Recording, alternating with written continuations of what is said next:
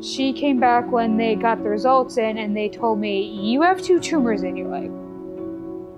We don't know if they're cancerous or not, but we're going to suggest to you to Shands so you can try and find out. We're also going to give you the name of a doctor we want you to see for this. That's what I knew. Well, shit, it's possibly cancerous. More than anything, if you're telling me that. So I said, okay, this is gonna be great. Okay, sure, I'll go to Gainesville. And they're like, we don't want you walking on this in the meantime. So we're gonna give you crutches so that way you can walk as well. Great, I've never used crutches in a day of my life. This is gonna be great. I even had somebody that heard me walking on crutches say, Come on, Twinkle Toes, you can do it! Come on, Tinkerbell! I'm like, son,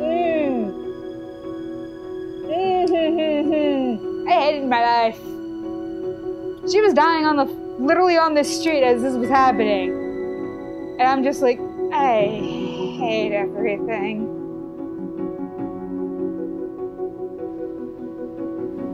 I got depressed and I told my sister when she came back from working, cut my hair off. Are you sure you want to do that? cut my hair off. I'm getting more depressed at seeing clumps fall on the floor and seeing hair on my pillow than I am of it falling out. Cut my hair off. People that go through this, they go through hell. I know I've been cursing, but this is actual literal hell. Granted, I'm fine with all this. Because I'm fine having to go through chemo for all this.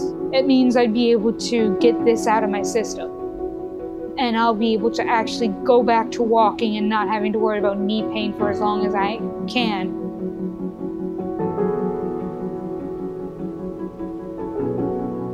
Chemo is a lot harder than people are actually putting it out as. It really messes somebody up.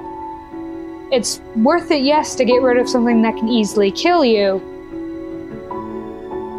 but the stuff that comes with it is something that's not really enjoyable or lovely.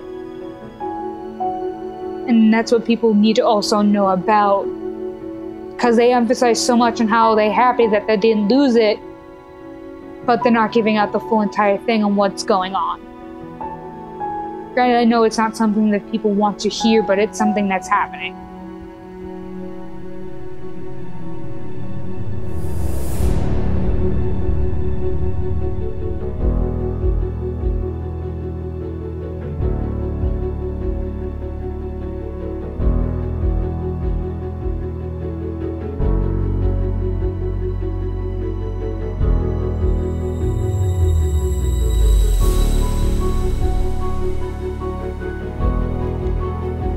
Cancer isn't really the end of everything.